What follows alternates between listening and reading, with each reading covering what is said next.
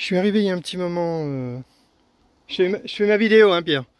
Je viens d'arriver chez Pierre il y, a, il, y a, un petit moment. On est en train de monter la nouvelle tente et là, j'ai vu ce qu'il a fait. En fait, il avait bien capté le, prototype de, du manchon et il a, fait, il a fait sa propre version qui est nickel là, avec de la grille à. Donc on a bien le manchon et au-dessus une bouteille. C'est nickel. C'est nickel. Super.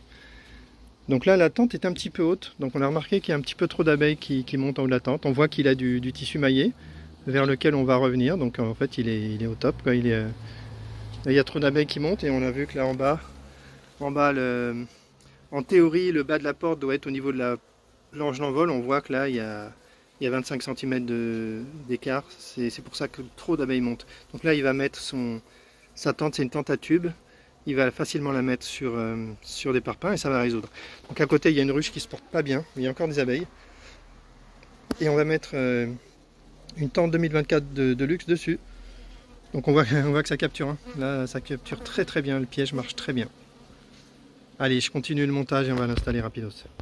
Allez, une dernière vue d'ensemble. On a vu un ou deux frelons arriver, on les a euh, écrasés et là on, on attendra 2-3 jours pour voir si on a la furtivité, mais on y croit. Allez, fin de la vidéo.